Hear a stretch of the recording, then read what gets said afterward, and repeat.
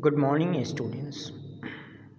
Complex sentence, subordinate clauses.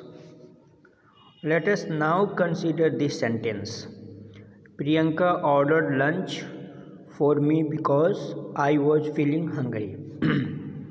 there are two finite verbs in this sentence. Order with Priyanka as its subject and was feeling with I as its subject. There are thus two clauses.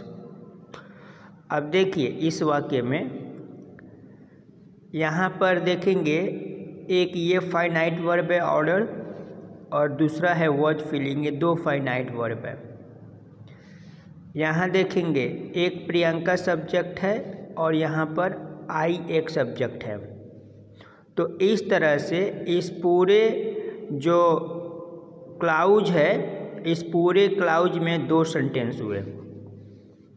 एक, Priyanka order lunch for me और दूसरा because I was feeling hungry the first of these clauses make complete sense and is capable of standing on its own as an independent sentence अब जो पहला वाक्य है, ये एक स्वतंत्र वाक्य खंड है।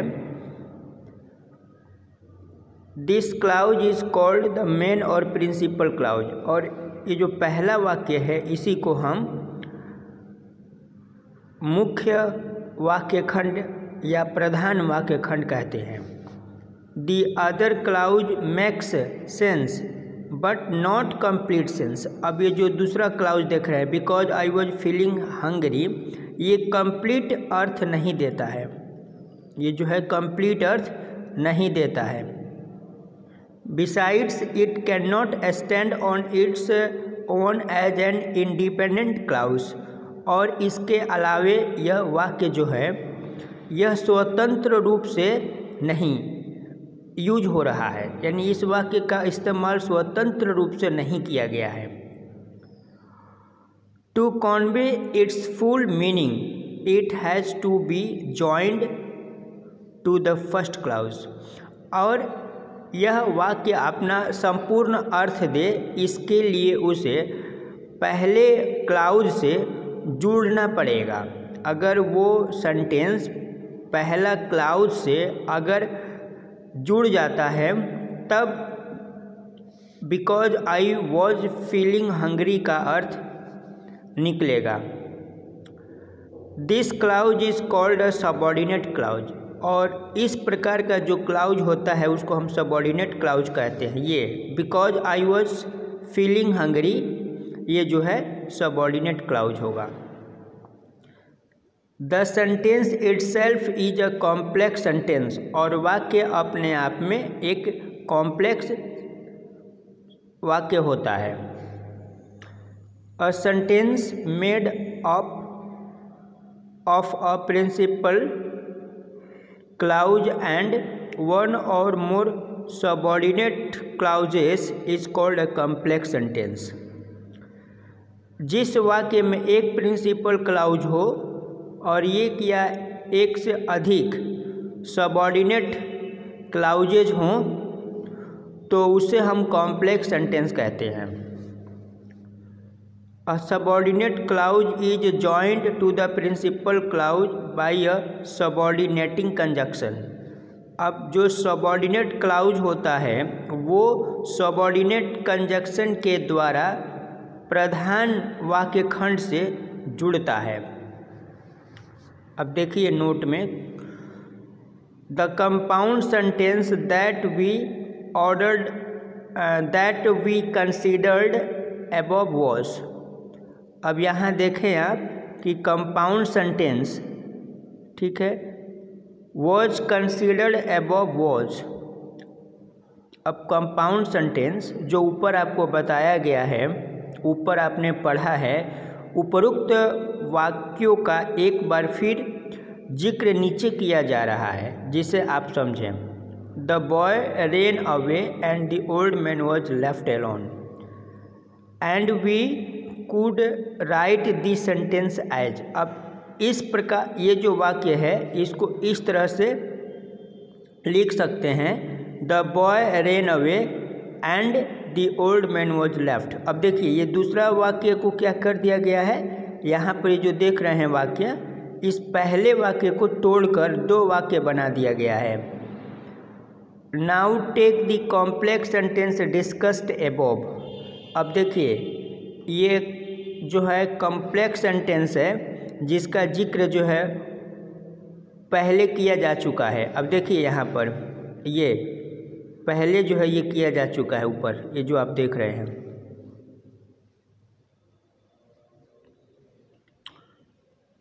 Try to write it the same way अब देखिए, इसको इसी तरह लिखने की कोशिश करें। Priyanka ordered lunch for me because I was feeling hungry यहाँ भी वाक्य को अलग अलग कर दिया गया है। Priyanka order lunch for me एक अलग वाक्य हो गया because I was feeling hungry ये भी एक अलग वाक्य हो गया। It does not make sense does it that is another way of finding out whether a given sentence is a compound और अ कॉम्प्लेक्स सेंटेंस अब ये है कि it does not make sense ये अपना सेंस नहीं देता है, देखिए यहाँ पर। बिकॉज़ आई वॉज़ फीलिंग इसका कोई अर्थ नहीं है। लेकिन ये जो दूसरा वाक्य है, Priyanka order lunch for me इसके साथ यह जुड़ा हुआ है। इस तरह से यहाँ पर बिकॉज़ आई वॉज़ फीलिंग ये जो सेंटेंस है, ये इस सेंटेंस जो है वो एक सबॉर्डिनेट क्लाउज है। और सबॉर्डिनेट क्लाउज जो है वो प्रिंसिपल क्लाउज के साथ मिलकर वाक्य के अर्थ को संपूर्ण अर्थ प्रदान करता है।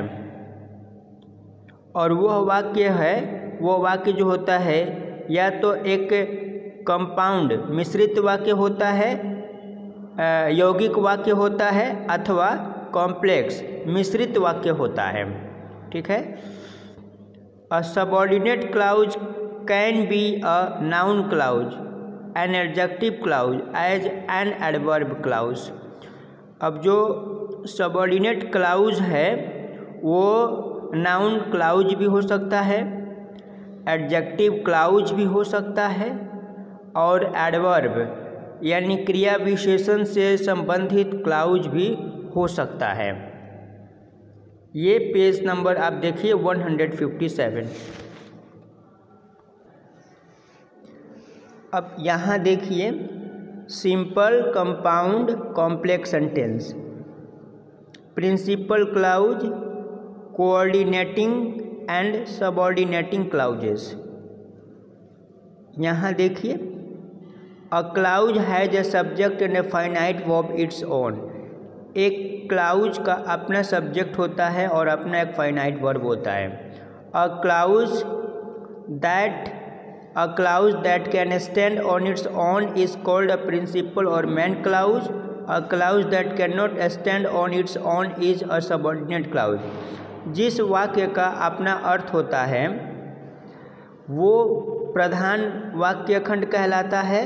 और जिसका अपना कोई अर्थ नहीं होता है, वह आश्रित वाक्य खंड कहलाता है।